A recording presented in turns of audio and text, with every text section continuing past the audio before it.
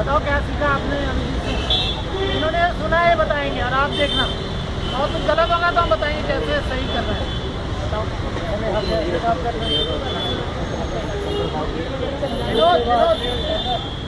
चले ऐसे। ऐसे तो हम करके छोड़ देते थे आज तक।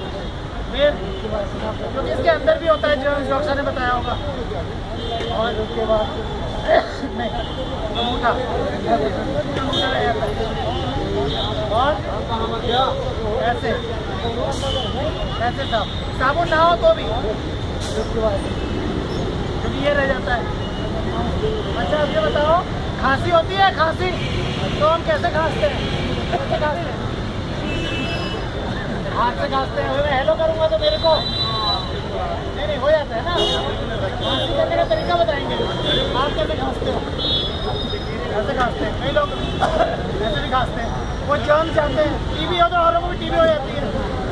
बाहर के देशों में टीबी नहीं होती। मलेरिया नहीं होता। क्यों नहीं होता? सफ़ाई रखते हैं। ऐसे खा सकते हैं। यहाँ तो कोई ये नहीं करेगा। हाथ कर सकता है कैसे जा सकता है। नहीं? है तो ये छोटी छोटी चीज़ें हैं। आप दूसरे को इन्फेक्शन जाने से बचा सकते हो। खुद भी साफ़ रहो दूसरे को भी साफ़ रखने की शिक्षा दो। और कम से कम घंटा हफ़्ते का निकाल सकते हो।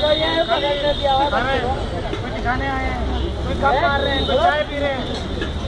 हम लोग इतने बिज़ी रहते हैं। डॉक्टर डॉक्टर ज्योति कौर है एक प्रोफेसर है बहुत सीनियर साइंटिस्ट